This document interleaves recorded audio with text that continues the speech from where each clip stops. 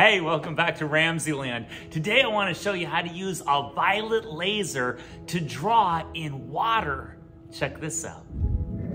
All I'm using in this investigation is stannous chloride, also known as tin chloride. I'm using 12 molar hydrochloric acid, a dropper, a spoon. This is methylene blue, two graduated cylinders with 50 milliliters of distilled water, and this is a violet laser.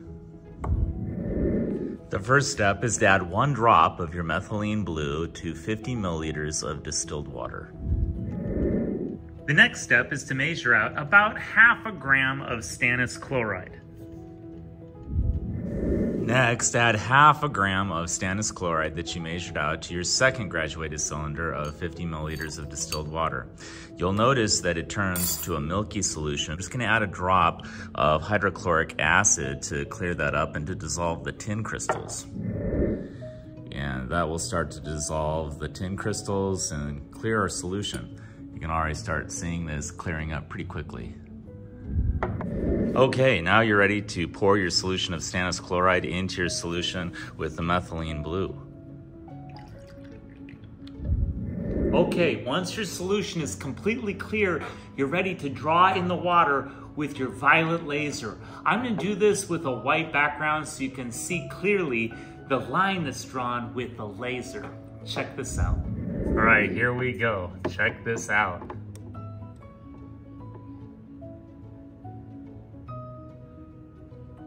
Gonna turn off the laser. What? Look at that.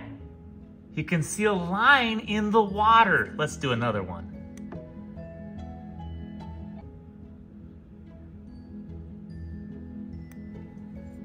Two lines. Isn't that amazing? You can actually see lines that are drawn with the laser.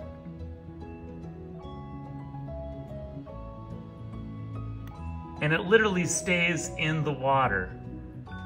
Just amazing.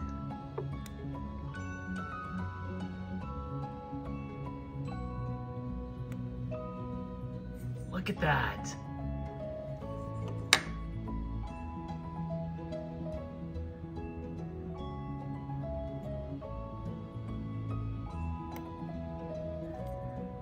So this is a reduction oxidation reaction between the tin ions and the methylene blue. So when methylene blue donates electrons to the tin ions, it becomes blue. And during reduction, when it gains those electrons back, it turns clear.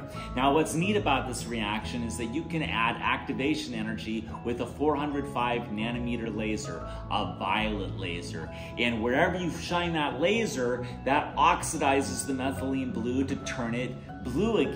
But this only works for a little while because then it wears off, the methylene blue is reduced as it gains those electrons back and it turns clear again in this awesome reaction.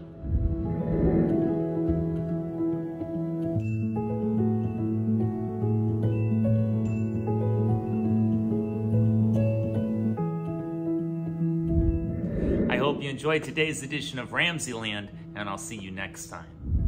If you enjoyed this presentation, be sure to remember to like and subscribe.